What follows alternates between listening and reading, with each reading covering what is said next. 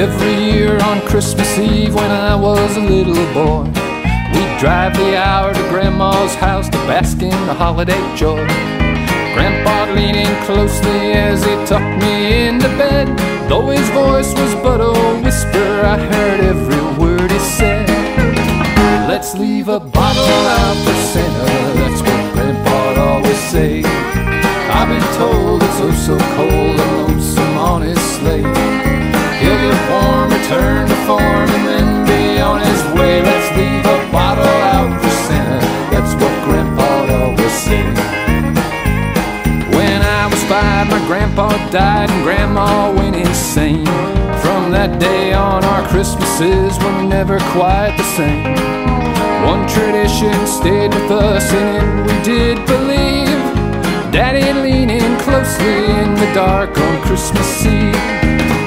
Let's leave a bottle out for Santa, that's what Daddy'd always say. I've been told it's oh so cold and lonesome on his sleigh.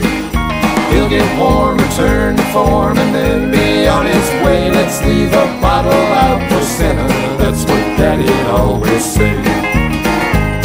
He's tired of eating cookies by the trayful.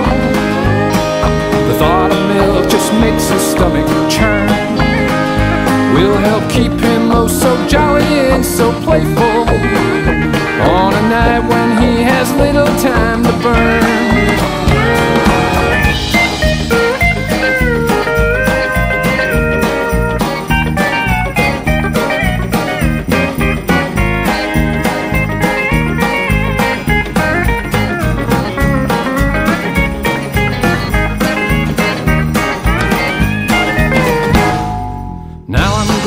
Kids of mine, one's three and one is eight.